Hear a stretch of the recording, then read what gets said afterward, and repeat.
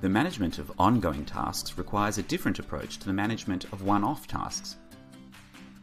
Project management is about getting these temporary endeavours complete on time and on budget. The sad truth is that for one reason or another, most projects fail to meet their objectives. So here's some weapons you can add to your arsenal to make sure your project has the best chance of success. Firstly, make sure all stakeholders agree in granular detail on the final outcome of the project. By agreeing about deliverables at the outset of a project, you'll guard against the scope growing monstrously out of control. Planning is 80% of project management. Remember the six P's. Proper planning prevents poor project performance. There's a lot of great tools that can help you keep track of your project. Use these during your planning. Before building your team, consider the skills and know-how you'll need to complete the project.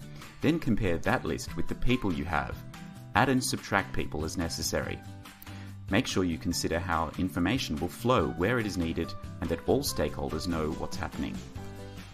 Prepare for stormy seas by considering what risks your project might be exposed to and plan how to best navigate to avoid or mitigate them. If you've planned properly, implementation of your project should be like conducting an orchestra, keeping the various players in check with clear, constant communication and leadership.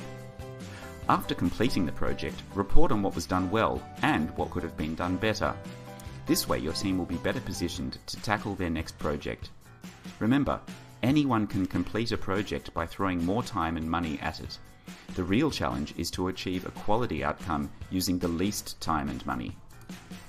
To summarize, to make sure your project is completed on time, on budget, meeting its scope, and in a quality manner, remember that planning is paramount Fiercely guard against scope creep by getting solid agreement on the required deliverables.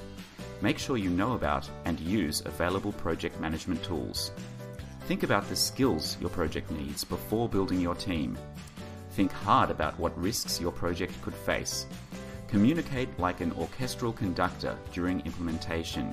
And don't forget, review, reflect, and report on your project's successes and shortcomings so your team learns from the experience.